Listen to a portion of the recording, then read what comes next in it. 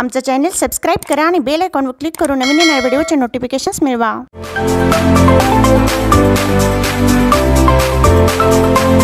Today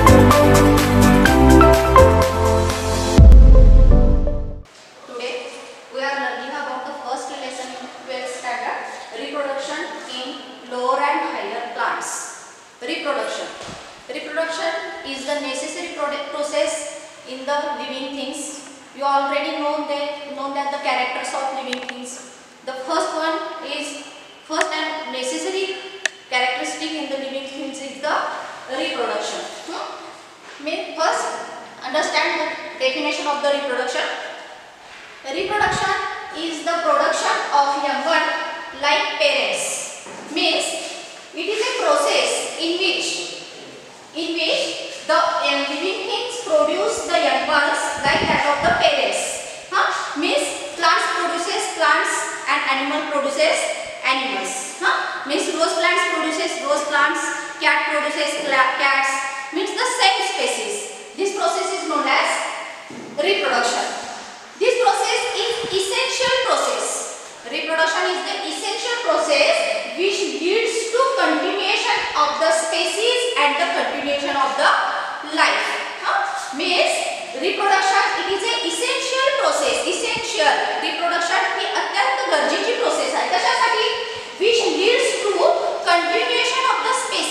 एखादी species जर continue आहे तशी पुढे राहायची असेल तर त्याच्यासाठी रिप्रोडक्शन ही अगदी गरजेची प्रोसेस आहे आणि स्पेसीज कंटिन्युअस झालं तरच काय होणार आहे तर लाईफ कंटिन्युअस राहणार आहे म्हणूनच काय म्हटलेलं आहे तर reproduction is the essential process which leads to continuation of the species and continuation of the life. Then next point types of the uh, types of the reproduction. You already that the reproduction is mainly two types, asexual reproduction and sexual reproduction. Hmm? Then here the difference between sexual reproduction and asexual reproduction. First, know about the asexual reproduction. Hmm? First point, first point in the asexual reproduction is that asexual reproduction occurs without fusion of the two gametes. First important point in the asexual reproduction is that in asexual reproduction only one parent is involved. Only one parent. There is no fusion of two gametes means male, male gamete and female gamete. There is no fusion of two gametes. Only one parent is involved in asexual reproduction. These gametes are compatible in sexual reproduction. In sexual reproduction occurs between between the fusion of two gametes. Means the fusion of two gametes which are compatible to each other. Means same species. Hmm? The gametes of male gamete and female gamete of the same species.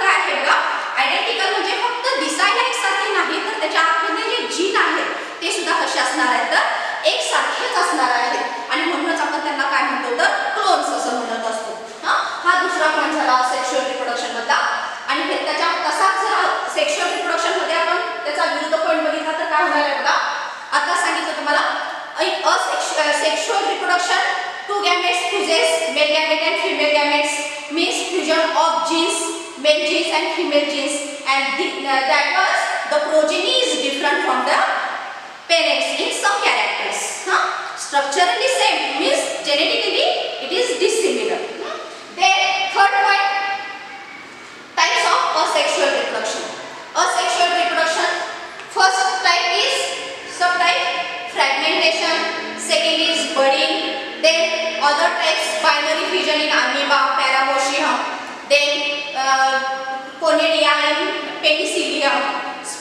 formation. Then another one is vegetative reproduction. These are the types of asexual reproduction.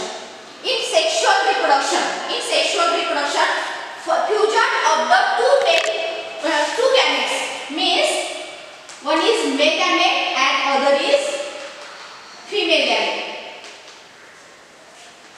Male gamete is haploid, female gamete is haploid. Huh? After fusion of the male gamete and female gamete, formation of diploid zygote. Diploid zygote. Huh? And then from zygote develops embryo. Embryo. Huh? Formation of embryo is the process of embryogenesis. Formation of embryo is the process of embryogenesis. In this process, two haploid gametes fuses and formation of diploid zygote. Here, meiosis occurs. Meiosis and mitosis. Both process. Huh? Already you know cell division, meiosis and mitosis. In mitosis, cell divides, but number of chromosomes are not divided. Means diploid cells divide and formation of two diploid cells. This process is known as mitosis. Huh? And in meiosis, meiosis diploid cells divides and formation of two haploid cells. Two haploid cells.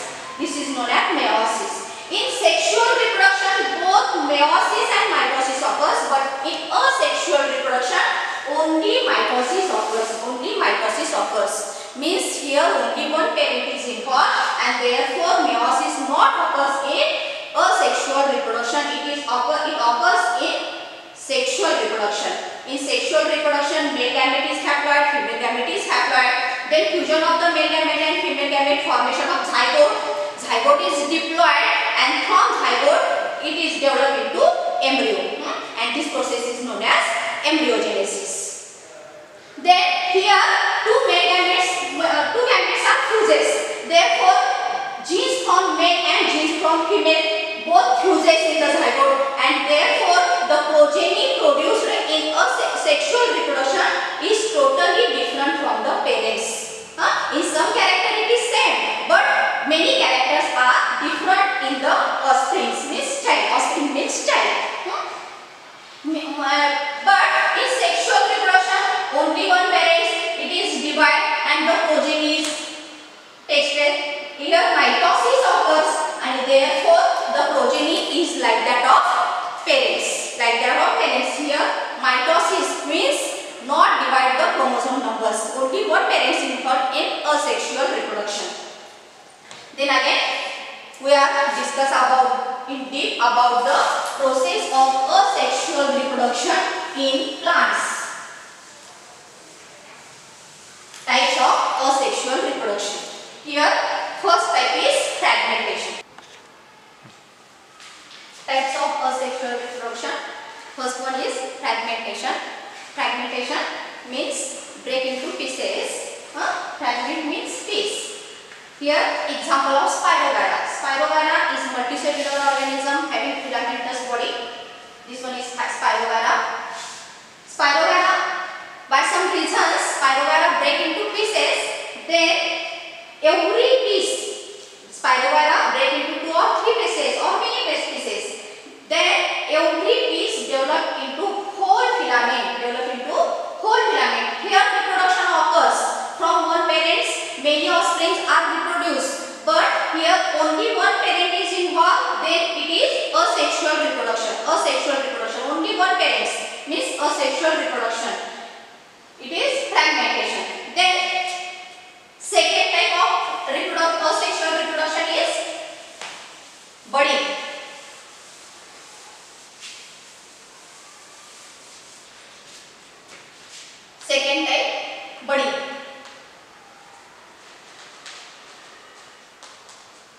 Budding.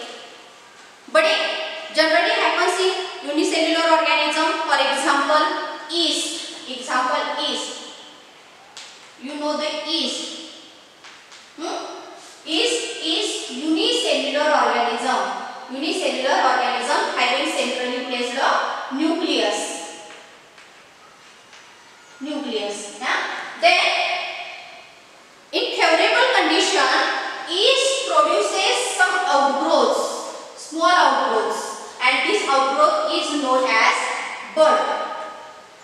outgrowth is known as buds. Sometimes it produces one bud, then it is it develops, it totally develops and then again produces another bud, then again produces another bud. Means chain of bud, chain of bud. When these buds totally develop, then it detach from the parent cell and every bud develop into new individual. Huh?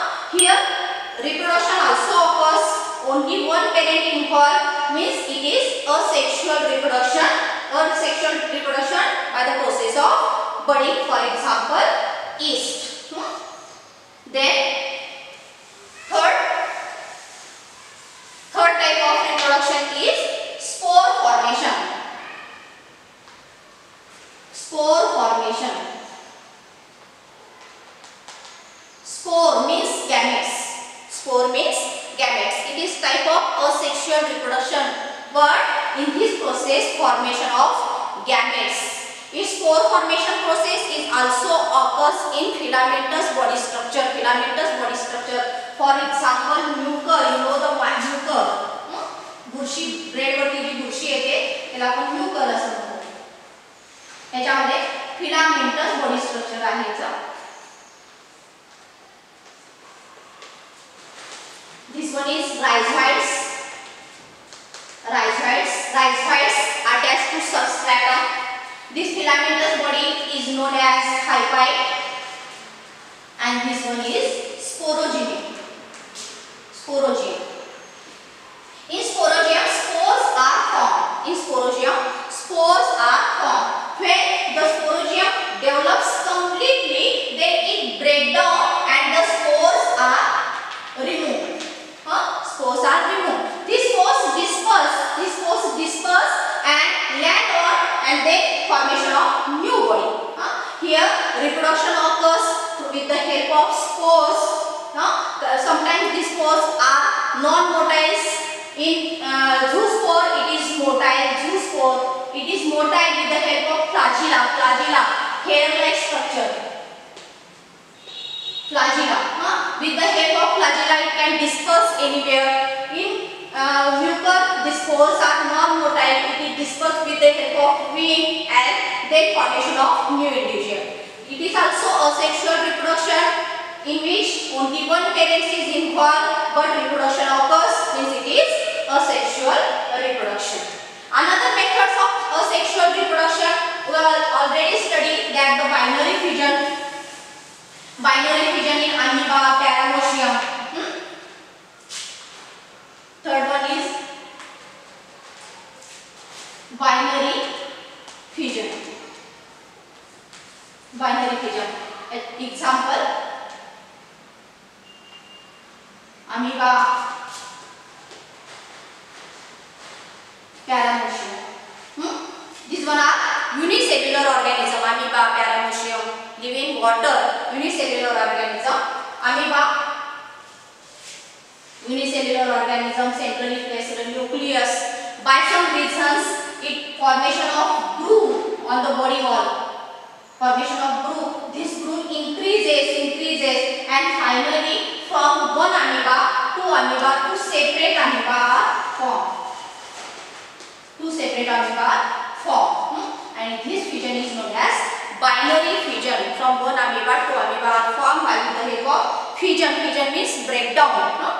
With the help of breakdown, two amoeba formed. In this same way, paramecium also reproduce asexually with the help of binary fusion. Then another methods are conidia in penicillium. Penicillium, you know the penicillium. In penicillium also asexual reproduction occurs with the help of conidia. In penicillium, conidia formation occurs and when conidia develop, then it disperses, it detaches from the parents and another penicillium body is developed. It is also a asexual reproduction. In sponges, sponges, sponges live in water. sponges during unfavorable condition the sponges formation of the gemmule formation gemmule means outer covering outer covering and in this outer covering many gemmules are produced. Example is sponges. Sponges. Huh? when this outer covering is break down this gemmule is removed from the and every gemmule form the whole body. It is also a type of asexual reproduction means asexual reproduction with the help of fragments in spirogyra then budding in yeast then spore formation in zoospore or uh, mucor sporangium then binary fission in amoeba paramecium onidia and penicillium then gumule formation in sponges another next important asexual reproduction is vegetative reproduction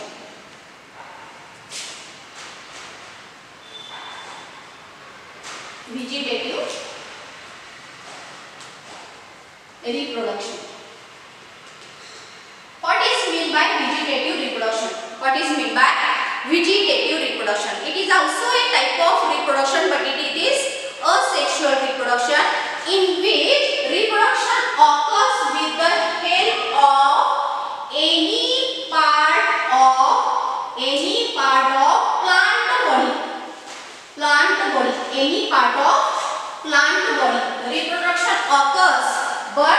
the help of any part of plant body means this part is root then stem leaves any one parts or bird no?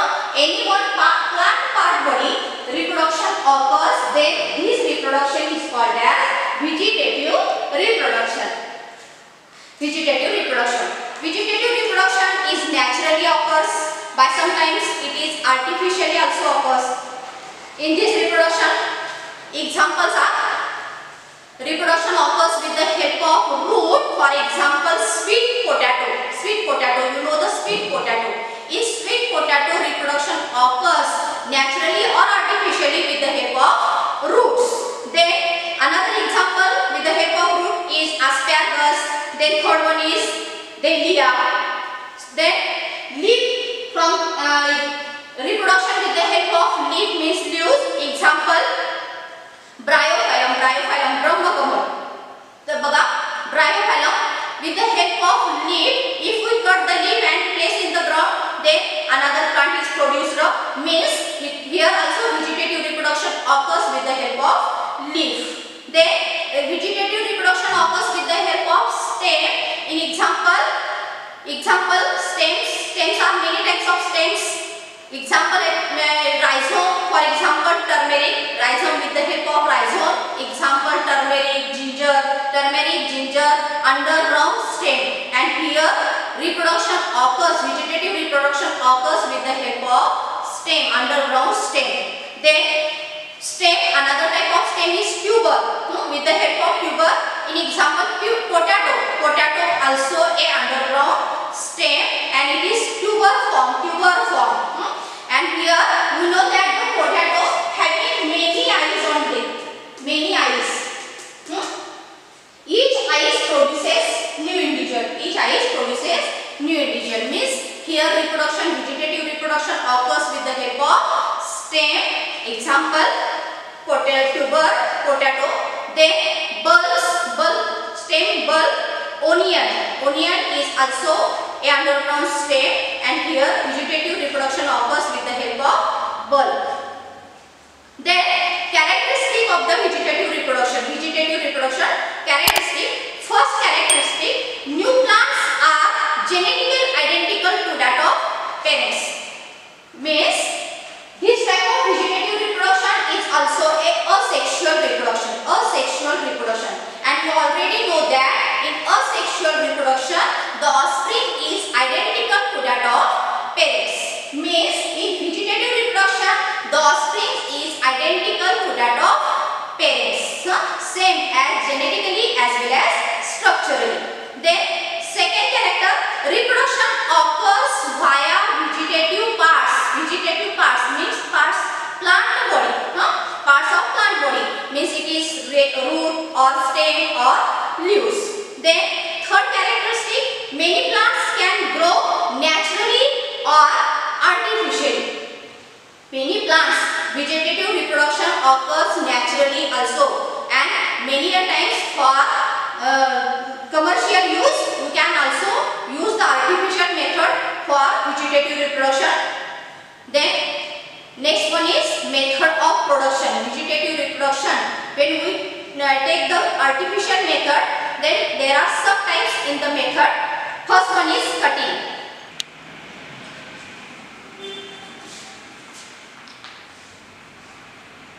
method of vegetative reproduction.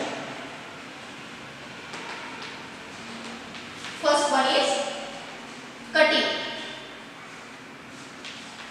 It is simple method. It is simple method. You already know that it is vegetative propagation means the propagation with the help of any part of the plant body. It is root, stem or leaves. The first method in vegetative reproduction is cutting in this method, any part plant is cut and then pressed into soil. This piece develop into new individual. For example, rose. Huh?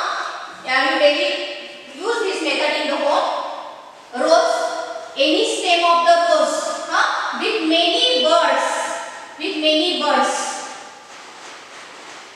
This piece of the stem is cut and then pressed into soil. This uh, stem again produce, grow and produce a new plants.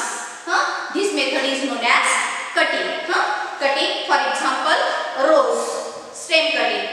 Then leaf cutting is also done. Leaf cutting is done in bryophyllum, bryophyllum brahmakamal. Leaf produce another whole body of the plants huh? when it press in the soil. Then second method cutting. Then second method is grafting. Second method is grafting. Also similar that of the cutting but in this method two pieces are used. Two pieces of the two different plants are used and then these two pieces are joined to each other like as a same one single plant.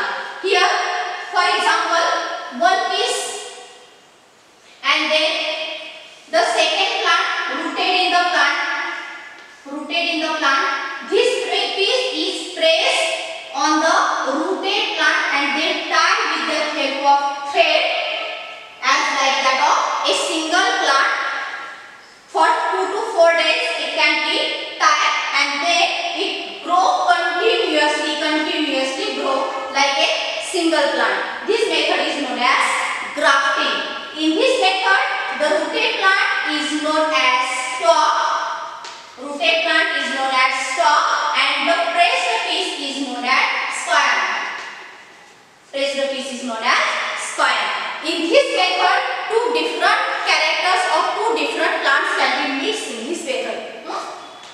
Then, third method. Third method in vegetative reproduction is tissue culture. tissue culture.